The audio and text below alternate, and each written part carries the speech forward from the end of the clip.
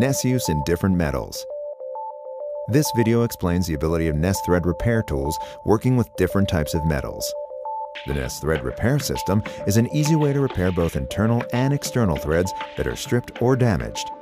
The easy-to-use NES internal and external tools operate by adjusting the knob that sets the proper diameter of the tool to the thread, and the blades float to the correct pitch.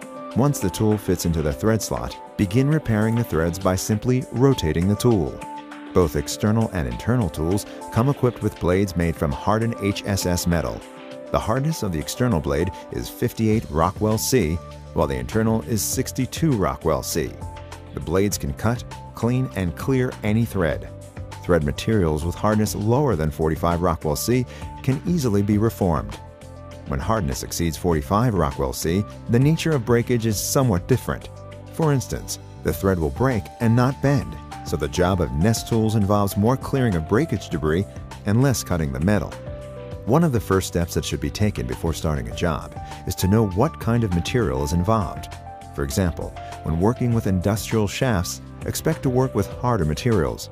In the automotive industry, materials will most likely be made from aluminum cast that is softer and needs to be threaded with care. Internal threads made from aluminum, brass, or any soft metal should be repaired using the internal thread repair tool with the yellow nylon pad attachment. The nylon pad will protect the aluminum part from being damaged during thread repair.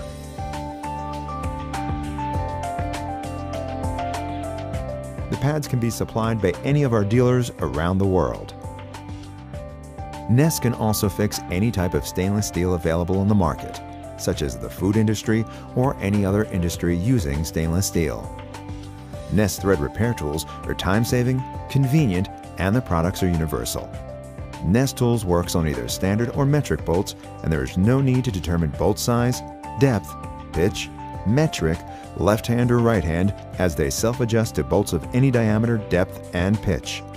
As a result, these tools eliminate the need for hundreds of taps and dies, saving both money and shelf space.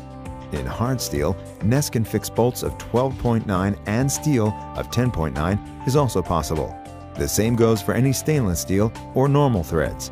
NES can fix them all.